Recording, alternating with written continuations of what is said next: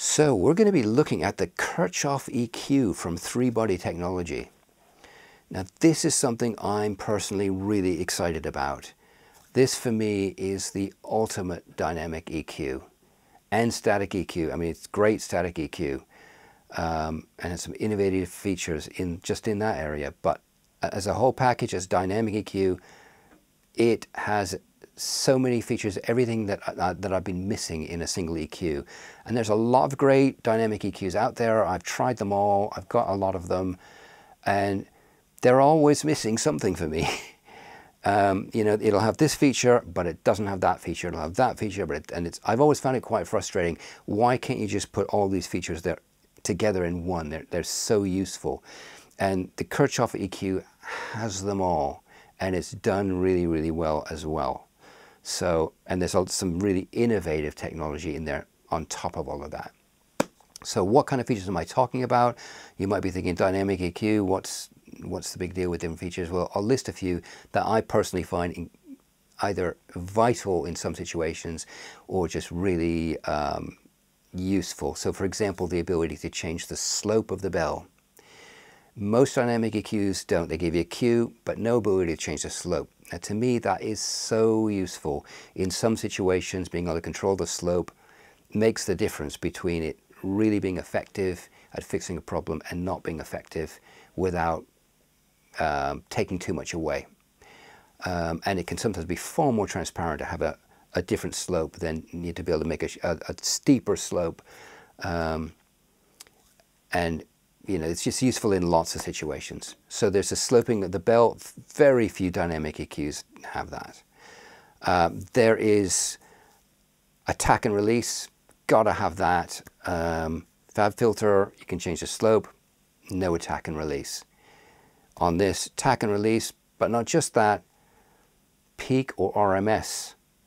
Um, so that's another great feature that you can choose the detection level there. Again, most of them don't have that. Another one that many of them are missing is gain control. There are some that have a gain control, like the McDSP one has a gain control, but it's missing these other features. So gain control meaning um, and F6 has a gain control too actually, but again it's missing these other features. So a gain control meaning that you can set the maximum gain that it's going to do. So it, the gain, in other words, the maximum gain is independent of the threshold and that can just be so useful in some situations being able to do that. Um, so it's got that. Um, it's got expansion as well as compression and a sophisticated interplay between those uh, two things. Um, so it's really amazing. I mean, it's something else. There's no other dynamic EQ that comes even close to this thing. And it's got um, some innovative features as well. So something that I find so useful. Um, and this has it amazingly, and that's the ability to separate out the detection frequency from the compressed or EQ'd frequency, the dynamically EQ'd frequency. You can move it it can listen to the whole frequency spectrum and compress in relation to that, so relative to that. So we're going to have a look at that, show you the features, and I hope you find this useful. Um, if you do, please do like the video and ring the bell and subscribe. Uh, really helpful to me and really appreciated. And so let's have a look. Okay, so here we are with the Kirchhoff EQ by Three Body Technology. And this is the most amazing EQ I have ever come across. Um, it has completely, it's replaced Pro Q3 for me. Uh, I've not used Pro Q3 since I got this or any of my other EQs it, it, because it does everything every other EQ does at least as well and it does a whole lot more. So in terms of like clean EQ, obviously I've got, you know, um, various character EQs and things which I use all the time, but in terms of like a clean EQ and dynamic EQ, this just absolutely, to me, it just blows everything else out of the water. So let's just go through um, what it has and what it can do. Like any other EQ you could expect, you double click and you get a node and you can move that around and so forth. And it's got a little uh, audition here so you just hear that just that band And um, it's got straight ahead EQ controls here as you'd expect. Um, but what's great that so many EQs are missing is that you can control the slope of the bell and that is just so key to me. Um, I've got a couple of EQs, Pro EQs, one of them, uh, an Air EQ uh, that can do this and it's just so important for me um, because there are lots of situations, especially when you're trying to fix something that's a problem, where the only way you can get it to happen transparently is by having a pretty steep bell. Um, so yeah, that's just amazing. Um, and it goes very steep if you want, uh, 96 dB per octave or, you know, back to quite a shallow one. Um, and you can also mid-side it or left-right. Got complete control of EQ uh, in a stereo spectrum. Any modern EQ needs that. But you've got a huge set of bell types and EQ type shelves and high pass, low pass, notch, band pass, a tilt shelf, a flat tilt, flat top bells, and all kinds of other uh, more unusual ones and some modeled after various types of like a SSL, G, Neve, uh, API, and so forth. Um, you've got a huge range of EQ shapes. And in with each, each of these, you've got more. Um, and of course, you've just got the straight ahead uh, starting place that we've got here. So it's got a, a huge range of different shapes here. Um, okay, so now where it really gets interesting is because right now we've got like the most fully featured straight ahead EQ. Uh, it's, it's got as many features as anyone other out there. Um, but before we get to the really exciting part, at least for me, I'm just going to go review other interface things here. So we've got um, the usual stuff, copy, AB and so forth. Um, this allows you to grab on the, on the spectrum. If I just play this for a second, you can see, you know, like with Pro Q, only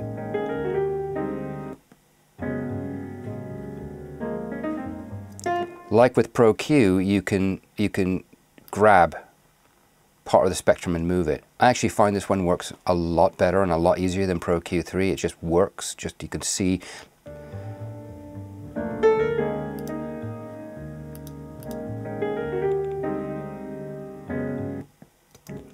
I think it's because it snaps, it snaps to the peaks really nicely and then you just, you don't have to grab exactly on the peak and then you've got it.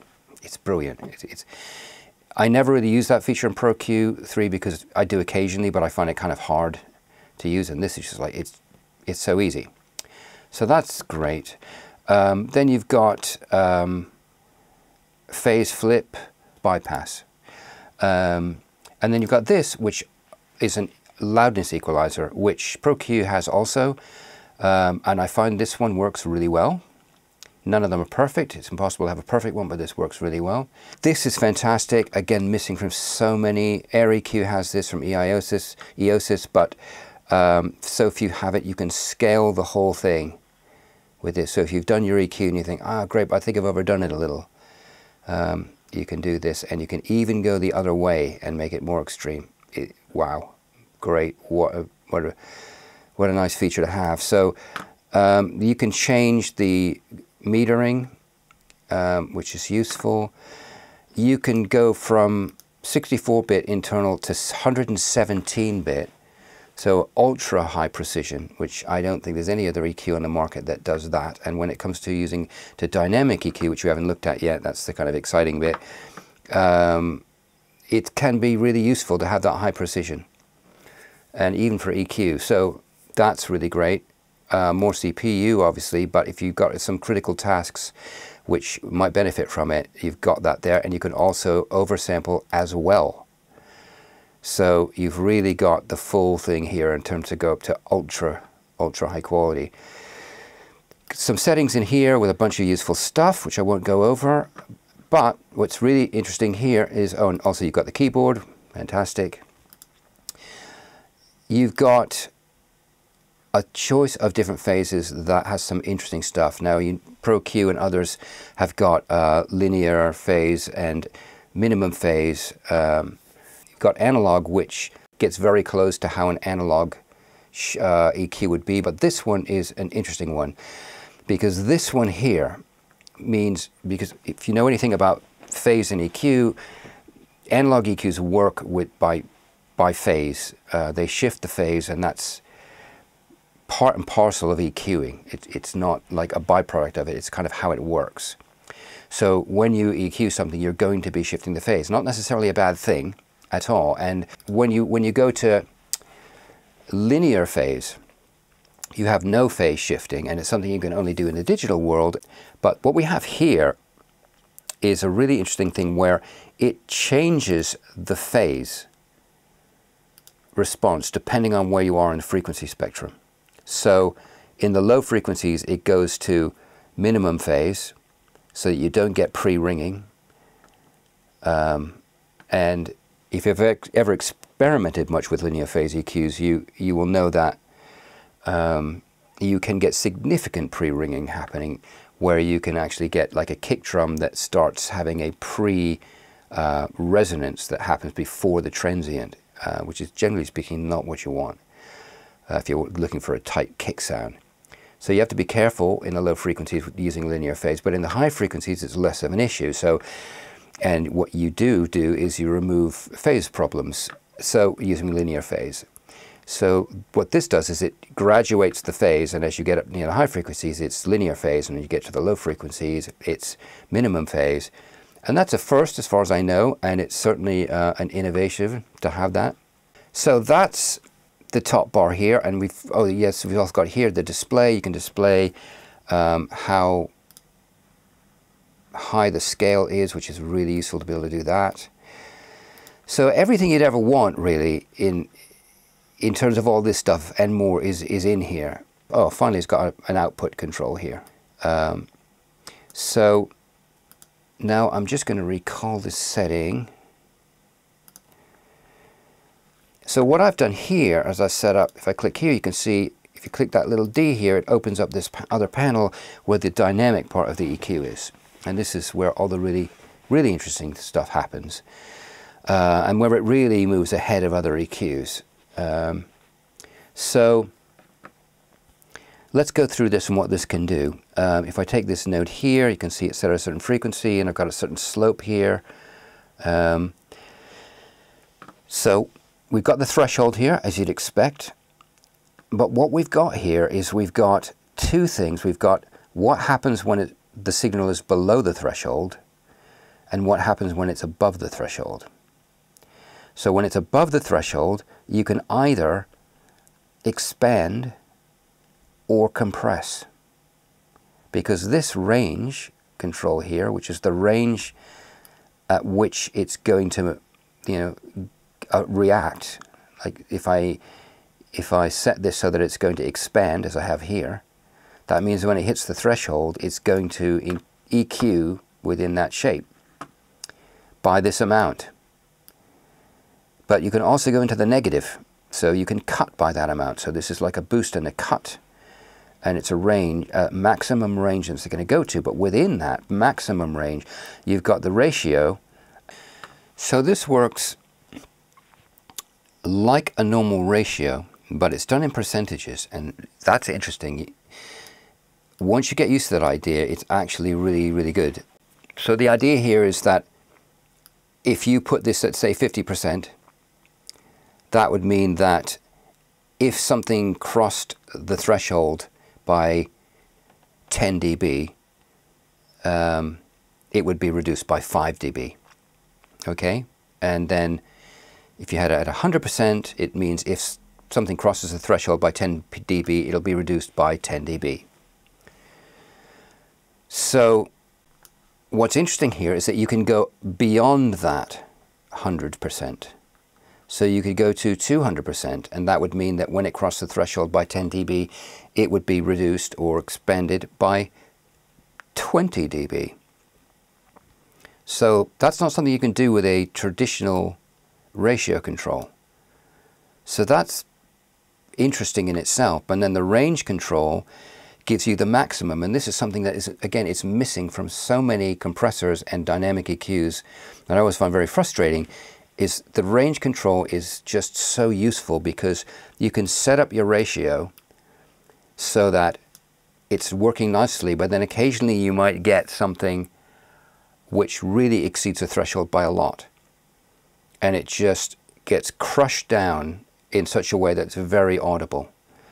And what's great about having a range control is it prevents it from ever getting compressed beyond a certain amount, which means if you get the odd thing that really gets louder for a second, you're not going to get an overcompressed sound all of a sudden. Really, really useful. And actually incredibly useful for if you're doing very subtle control of something, particularly in a mastering situation or even in a mixing situation, having that range control is, is really great. So the range control is like the maximum amount that it's going to be able to go, positive or negative. And the ratio is the percentage that it's going to get reduced or uh, expanded when it crosses the threshold, the percentage you know, of the amount it crosses, as I explained a minute ago. So incredibly flexible here. Um, and you can do that above or below. So you can do exactly the same thing for everything below the threshold. So you can say everything below the threshold is going to get expanded or compressed uh, by the, the ratio in exactly the same way. So I've never seen anything this comprehensive in any dynamic EQ. I mean, there are some compressors that have some things a bit like this, uh, not many. Um, but in a dynamic EQ, this is just amazing. And it's what I've always wanted, this kind of flexibility in a dynamic EQ. So moving on, we've got attack and release. And again, that's so often, that's what I really miss in the Pro Q. There's no attack and release. And yeah, it's got a very good algorithm for figuring it out itself, but there are so many times when I really want to be able to control this and let the attack through or make sure I grab the attack and slow the release down and things like that. Um, it's missing from a lot of them and some of the, the ones that have attack and release are missing the slope or they're missing the ability to you know um, have a range or something else. Is something's always missing in every single one if you look at you know the Waves one, the Sonnox one, the uh, FabFilter one and there's a bunch of other ones. Um, they've all got some of these and none of them have them all and I've always been so frustrated by that that this is just amazing to have them all in one in one plugin.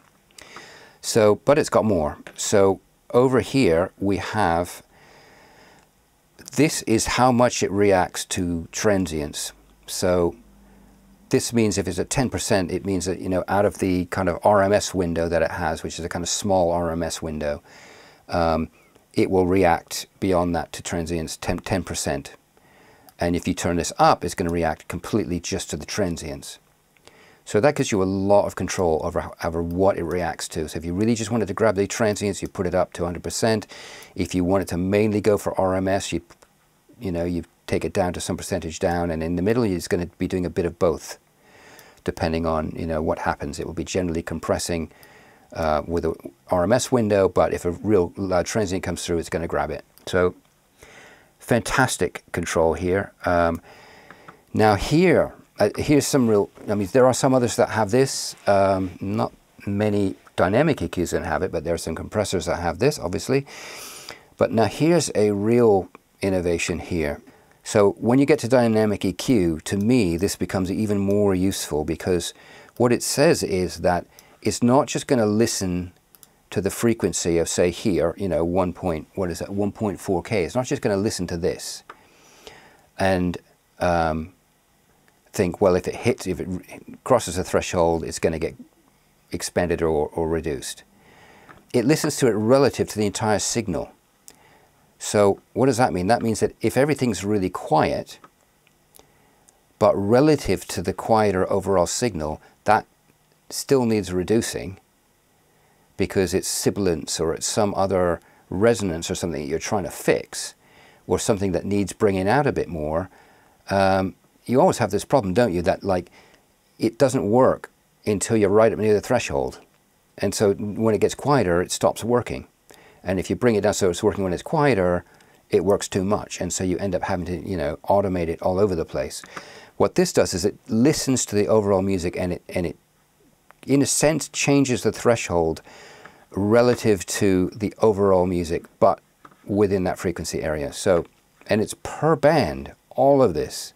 All of this is per band. Hard to believe, but true. It's amazing. Um, so if that's not enough, it goes even further. Okay, so what we have here is that you can, the detection can be sidechain detection and the relative can also listen to the sidechain. So if you wanted to hear, have it reacting relative to your whole mix or some other part of the mix, you can do that. Same thing with the detection. Um, you can have it listen to the sidechain or you can have the relative be the side sidechain or both. Yeah, it's just amazing. Um, of course, you can listen to that. But now, if I press these free buttons here, then these other controls light up. Now this is something I have always wanted in a dynamic EQ, but I've never been able to find one that does this. Um, and this, it's not something I need very often, but there's sometimes where you get a problem that nothing else will fix apart from this. And especially in a mastering context, there are sometimes you get a real problem mix for mastering. And, and, and there, the only way to fix the problem is to have one frequency area affect another frequency area. Have something like, for example, say you've got a kick that doesn't have enough of a click on it or too much of a click in a mix and there's no way to kill that off without killing off you know everything else in that area because you set the threshold and every time the vocal hits it, it it pulls it down or the snare so what I've always wanted to be able to do was to be able to take the detection and move it somewhere else. This is exactly what this lets you do. So I can say every time the kick hits, it's going to pull down or pull up in this area. So I can increase the click of the kick, which is too quiet, without triggering every time the snare or the vocal crosses a threshold. Amazing. And you can, you can change the, um, the cue of it, and it even shows you up at the top there and it shows you down below here. Really great. And you can even change the relative like what it's going to listen to like relative to. Same area some other area.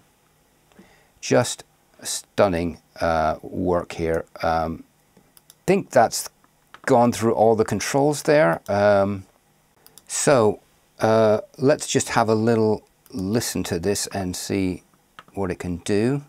So um, what I've got here is, um, again, this is just a demonstration purpose. Is not that I would do this, but I've got a, a boost here down at 111 hertz there. Um, and then I've got one up here at 1.4. So let's, let's just have a listen to this one. So I'm going to just turn this one off. And this is just on the piano. So you can see that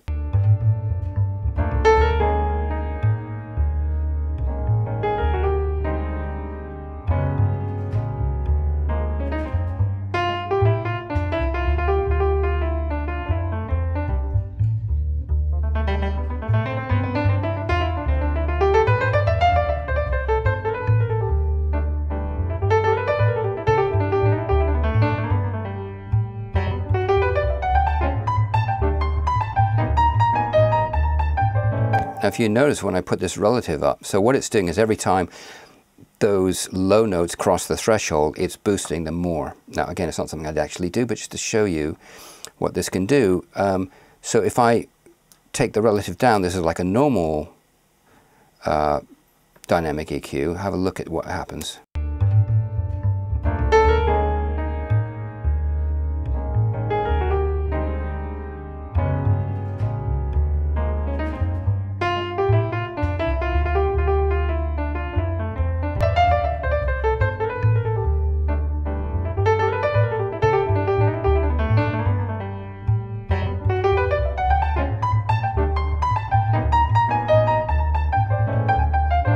So you can see when I turn it up, it starts to react a lot more even though the volume of this piano is going kind of up and down, um, it's writing, it's listening to the whole thing in context and, and thinking, how is this frequency doing in relation to the rest of it, not just on its own? So that's incredibly useful. Um, and what I also like about this is there's a lot of nice details in this, like the display. If you watch, I've got a long release time here, and if you watch it, you can see it.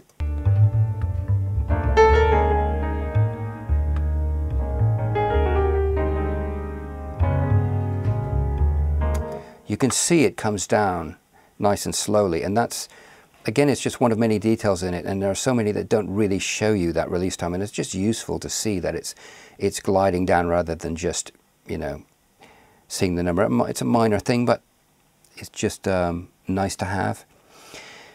So same thing up here. If I turn this one on and just have a look at this, it's the same thing. It's, it's going to react here.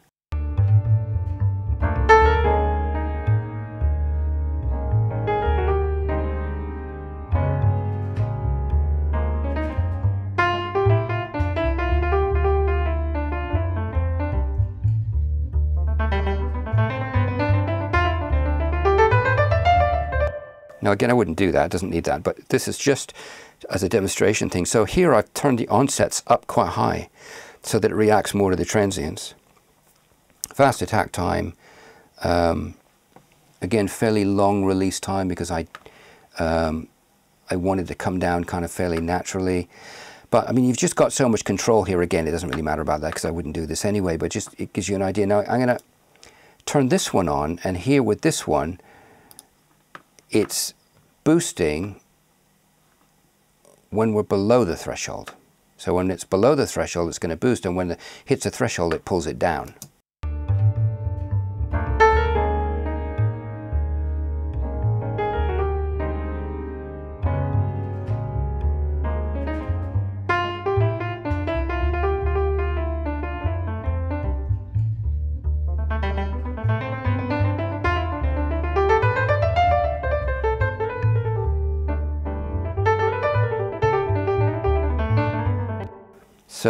It's it's it's beautifully realized and programmed this thing and it, it really sounds very transparent. Considering how much boosting I'm doing here um, it's very transparent sounding. Um, huge control over every aspect of the shape of the bells. I've not even you know started uh, I've not demonstrated here any of the really amazing features like the ability to move what frequencies trigger the different uh, shapes and everything. Um, but I hope you get kind of an idea of what this thing's capable of. Um, let me just pull this down into the negative here.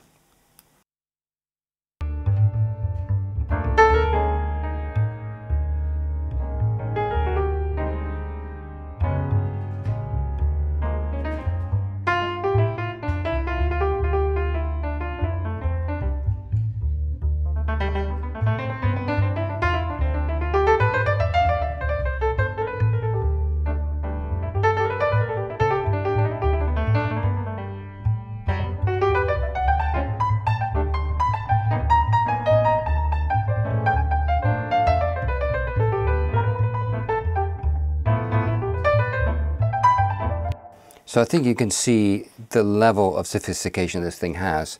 Uh, it really is, um, for me anyway, it really is the EQ to, to beat all other EQs. It, it does everything, it sounds great, um, it's got a huge amount of resolution, um, it's got every feature that every other dynamic EQ has all in one EQ. Um, it, to me it sounds just as good as Pro Q or, or any other like really high-end EQ it's so easy to use. Um, everything about it is is slick and easy to use and and and has that kind of high-end professional feel about it. So yeah, I would really highly recommend this um, EQ. It is now my go-to EQ. As I said, I haven't used the Pro Q3 since I got this, um, and that used to be my go-to um, because it just does everything that does and a whole lot more. So uh, yeah, I hope you uh, found this useful. And if you did, uh, please give the video a like and uh, ring the bell and subscribe and I hope to see you next time.